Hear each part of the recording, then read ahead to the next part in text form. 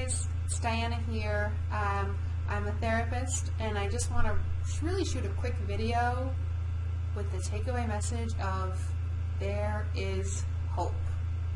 I feel like I'm reminded of this so often, even though the field can be really difficult, um, especially when it comes to porn and sex addiction.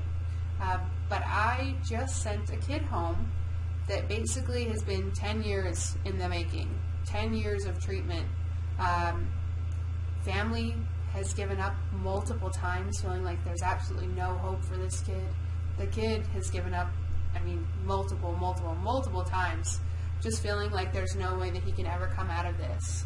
Um, he's had a long road, lots of behavior issues, uh, but his primary thing that we've been working on has been pornography.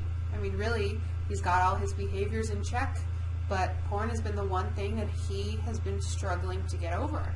And it got to the point that he not only wasn't functioning because all he wanted to do was watch porn, but he was also planning how he was going to access porn in any way possible and how he was going to act out those scenarios. So he'd gotten to the point that he'd essentially become obsessed with pornography, obsessed with rape, obsessed with bondage, and not only watching it, but wanting to do it.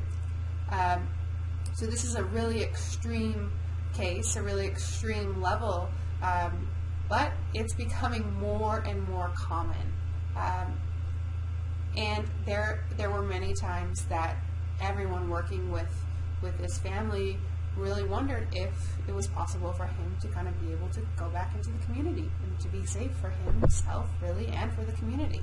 Um, so I've been working with him for about a year, and we finally got him to the point that he is okay. He's safe. Um, it's still scary. It's scary sending a kid back home where there's going to be access to electronics, where it's a world that basically sells sex on every corner. Um, but really, it's possible um, it's possible to get over this. It's really difficult. It's a long road. It takes a lot of work. It takes so much support, but it is possible. So I don't want to spend too much time on all the kind of all the struggles and all the things that we had to go through to get to this place. My my main message here is there is hope. Okay?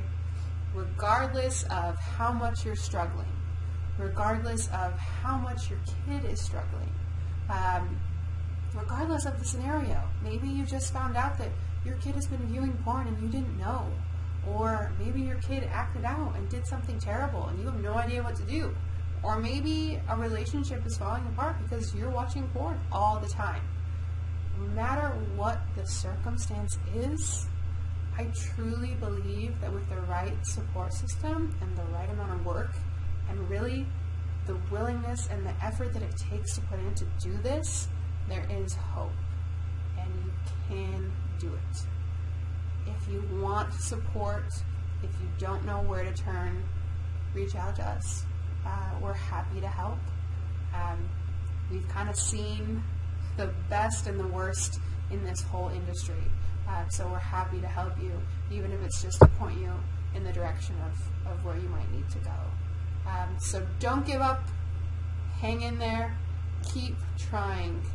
And you can get to the life that you